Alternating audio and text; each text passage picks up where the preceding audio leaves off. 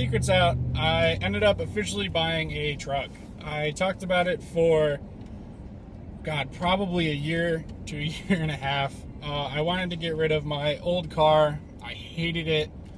And I decided decided a long time ago that I really wanted a truck for pretty much anything. I could do anything with it. I can tow, I can haul things around like firewood or pallets for summer shenanigans. And overall, it was just a better choice for me. Uh, some of the statistics on the truck it's a Ford F 150, a 2004. It's a 5.4 liter V8 engine, which surprisingly gets better gas mileage than my 24 valve V6 on my Ford Escape. The F 150 averages about, I'd say, 15 city, 20 highway, where my Escape averaged about 11 city, maybe 18 highway. So, all in all, this is a much better investment for me, for school, and just being able to, you know, have a better economic footing when it comes to having gas and even just working the truck. Things that are done to it. Um, I bought this truck used, obviously, it's an 04. It has 86,792.6 miles. That's after I put about 150 miles on it. Um, as you can see, it has a aftermarket radio.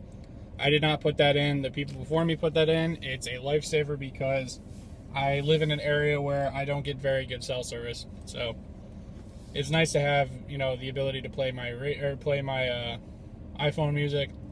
It has a Magnaflow exhaust on it, which when I bought the truck and just driving the truck, I'm like, oh, it's a truck, it's loud. I, you know, the only other truck I've really driven was our V10 work truck and my dad's GMC Sierra, uh, 2015 Sierra, which isn't loud at all. So I just thought, oh, it's a Ford, you know, an older Ford. It's just going to be kind of loud. Well, in fact, it has an aftermarket exhaust, which sounds phenomenal. And I'll put a little clip in here. I know that when people see you know, an update on a car or a truck, they expect a build list out of it. Um, I don't necessarily have that. I have a few things I want to do, but I don't have a specific set guideline for a build list and views, like video plans. One thing I want to do is I want to get the fronts, the front windows tint matched to the rear, just because it's kind of bright and the sun kind of gets in my eyes at certain times of the day and it's aggravating. So I think I might tint match the front to the rear. Um, probably a flagpole. Just I might you know get our rig one up, just because you know holidays and flag days next week and Fourth of July and just kind of I don't know. I like to be different.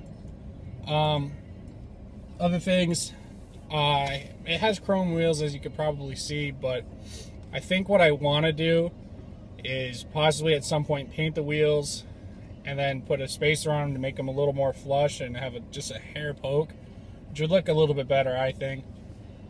Down the road, I'd like to do a bigger wheel and tire wheel and tire setup, but that's like I said, far down the road, probably a year or two. Um,